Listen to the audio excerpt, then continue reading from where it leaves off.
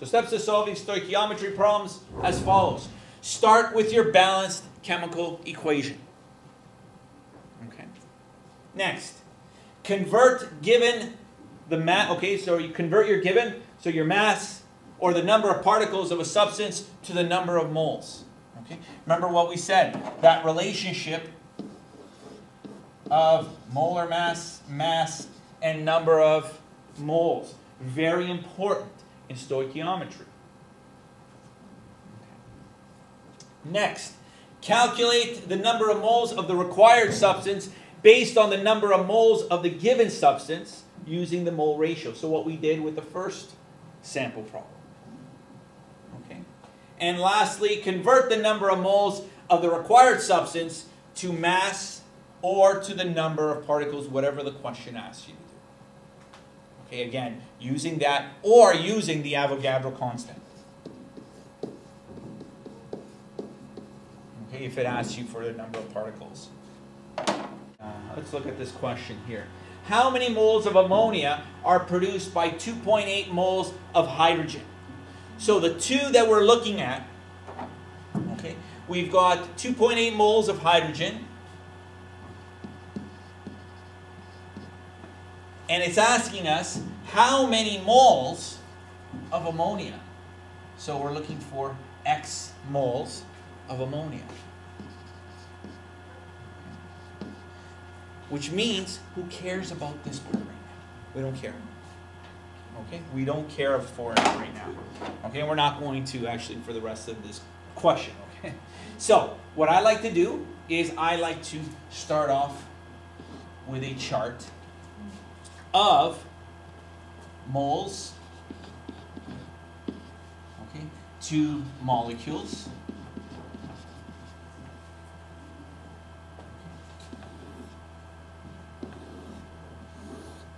And the first one that I'm going to use, okay, I'm going to list what part of the ratio I need. But I'm always going to put my unknown one here up at the top. So ammonia. Okay? And then the next one I'm going to put hydrogen. So, how many moles of ammonia do I have? I have of ammonia? No, that's what we're trying to find. Oh. Right? That's what we're trying to find. That's our X. So we have how many moles of hydrogen?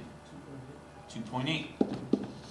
But now for the molecules part, Okay, for the molecules part, what we're going to do is we're going to take this ratio here. It's a 3 to 2 ratio. So we have how many molecules of hydrogen? 3. How many of ammonia? 2. Okay? So what I have here with this chart, okay, is this mole ratio that I can now use this chart as my equation. So here's what we do. We treat this separation between the two as our equal sign. And remember in ratios, other ways to write a ratio is to write it in what form? As a fraction. So the ratio of x here, x to 2.8, can be written as x over 2.8. And this ratio of 2 to 3 can be written as 2 over 3. Okay? So pretty simple, right?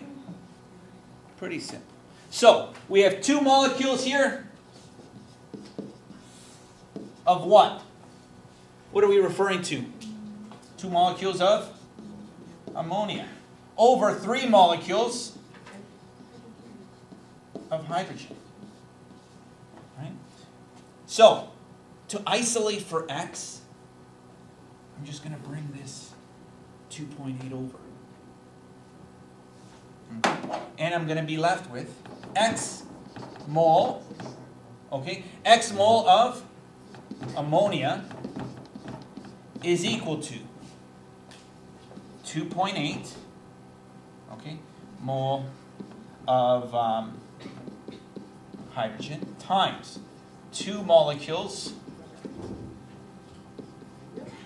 of NH3 over three molecules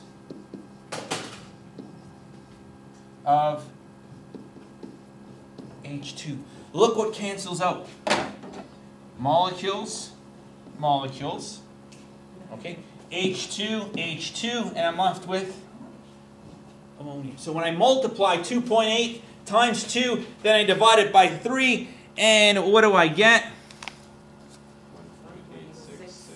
Okay, so 1.86 mole of ammonia. But least number of significant digits on my question? 2. So I only want the 1.8, which now becomes 1.9 mole of ammonia. Okay. So what we had was we had a ratio of 3 to 2 of hydrogen to ammonia.